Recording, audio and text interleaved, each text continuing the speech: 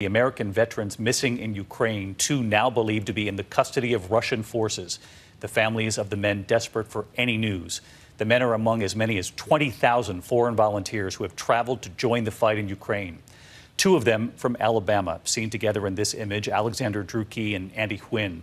And tonight, the new images from state controlled media in Russia showing Andy Huynh, believed to be under duress, delivering a pro Russian propaganda message. And Alexander Drueke sending a message to his mother back home. And then late today, retired Marine Captain Grady Kurpasi has been identified as a third American volunteer now missing in Ukraine. His family hasn't heard from him since April. Tonight, the Kremlin is denying they know anything about these men. President Biden saying he has been briefed, and the president again urging Americans not to go to Ukraine. ABC's James Longman leading us off tonight from eastern Ukraine. Tonight, state controlled media in Russia has released videos of two Americans taken captive in Ukraine. 27 year old Andy Huynh of Alabama was recorded here delivering pro Russian propaganda, presumably coerced into doing so. ABC News will not air the contents of the message. The Russian news outlet RT says the video was recorded yesterday in a detention center in the Donbass region of eastern Ukraine.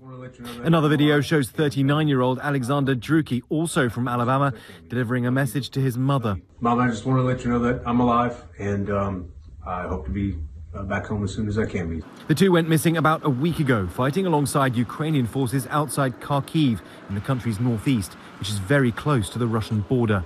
Back home, the families of the men are desperate for any information. It's stressful um, because we don't have answers at the moment.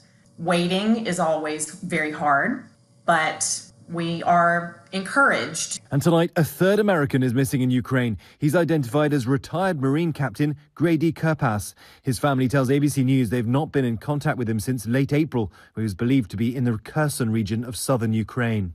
Family spokesman Don Turner served with Kurpasi for 12 years in the Marine Corps. Couldn't stress enough the sheer fact that uh, he cared more about others than he did himself. Despite the release of the videos, the Kremlin earlier today denied having any information at all about captured Americans. And today, President Biden said the whereabouts of the men are unknown. I have been briefed. We don't know where they are, but I want to reiterate Americans should not be going to Ukraine.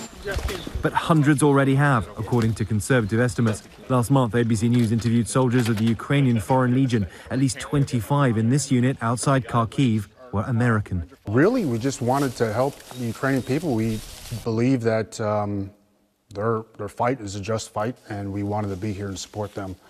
So let's get right to James Longman with us again tonight from Dnipro in eastern Ukraine. And James, these captured Americans, and of course the question tonight: what, if any, protections they have? Are they considered prisoners of war here? Do we know anything on that front yet? Well, David, the main issue here, David, is that they're being held by Russian backed separatists in the east rather than by Moscow itself, which gives the Kremlin a certain degree of deniability. They don't regard them as prisoners of war, they regard them as mercenaries. David? A lot more to come on this story, and we're thinking about those families tonight. James Longman leading us off again tonight from Ukraine. Hi, everyone. George Stephanopoulos here. Thanks for checking out the ABC News YouTube channel. If you'd like to get more videos, show highlights, and watch live event coverage, click on the right over here to subscribe to our channel. And don't forget to download the ABC News app for breaking news alerts. Thanks for watching.